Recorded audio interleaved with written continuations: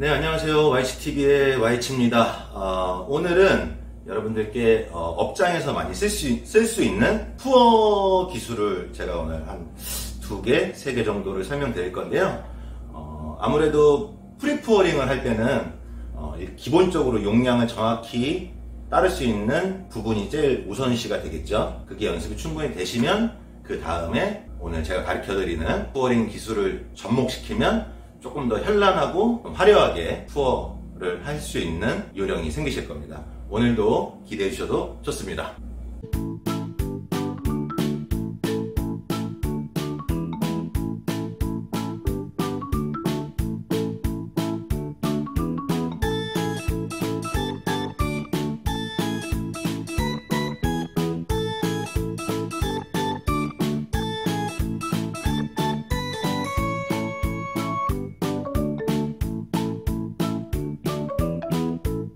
자, 처음에는 어, 가장 기본 푸어 기술을 제가 간단하게 보여드릴 거예요. 그래서 처음에 어떻게 하시냐? 보통 기본적으로 업장에서 우리 푸어 할 때는 이런 식으로 많이 따르실 거예요. 이런 식.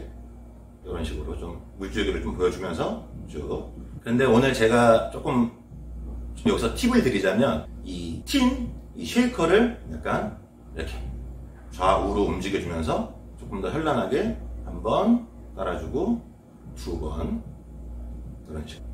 여기서 포인트는 뭐냐? 이 tin, 쉐이커를 이 중간을 이렇게 중간, 중간을 엄지와 뭐 중지나 검지로 잡아주신 다음에 너무 세게 잡으시면은 이게 이렇게 돌아가지가 않아요. 그래서 빠지지 않을 정도로, 빠지지 않을 정도로 하지만 회전은 스무스하게 넘어갈 수 있게끔. 그래서 이렇게, 이렇게, 이렇게, 이렇게. 그래서 조금 하면은 손목을 최대한 꺾어서 이게 포인트거든요. 여기서 푸어만 해주시면 되는 거예요. 그래서 한번 따르고 여러 가지로 응용할 수 있습니다. 따르고 멈춘 다음에 하고 다시 따르고 여기서 조금 더 손을 꼬아주면 한번 빠지면서 반대 손으로 가서 다시 푸어 자연스럽게 보여드릴게요.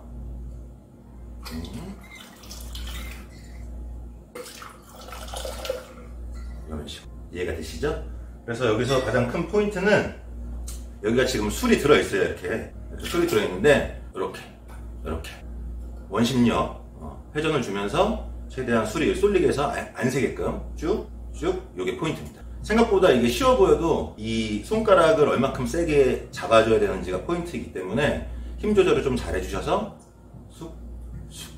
다음 기술은 아주 간단한 건데 보통 업장에서 우리 직어 많이 쓰시잖아요. 직어를 이용해서 할 건데 그냥 어려운 거 없습니다. 직어를 하고 돌려주고 잡고 그러면은 소리 천천히 나오죠. 이거는 용량에 맞게끔 따라주시면 돼요. 다시 한번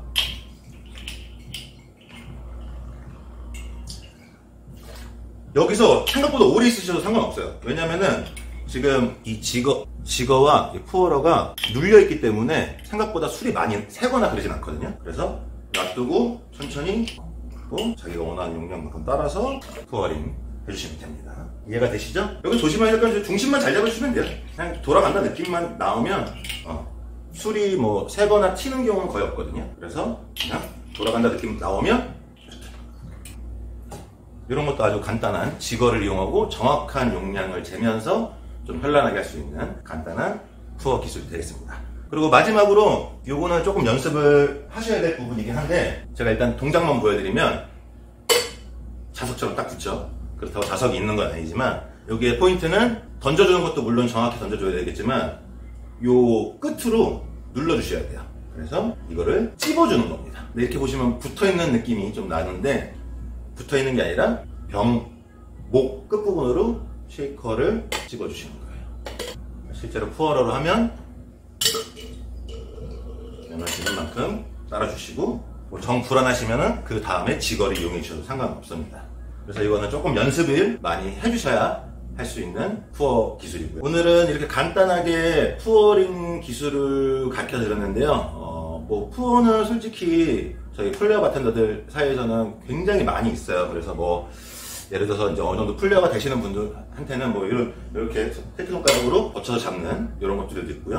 뭐 불려서 잡는 뭐 이런 것도 있는데 다다 설명드리기가 어려워서 혹시나 따로 또 나중에 pour 기술에 대해서 좀더더 많이 배우고 싶다 하시는 분들은 어, 저희한테 댓글이나 어, 메시지 아니면 메일 남겨주시면은 추가적으로 설명 한번 더 드리도록 하겠습니다. 오늘도 여기까지 설명 드려보도록 했고요. 재밌게 보셨다면 구독과 좋아요도 부탁드리도록 하겠습니다. 다음 시간에 조금 더 재밌는 기술과 함께 찾아뵙도록 하겠습니다. 감사합니다.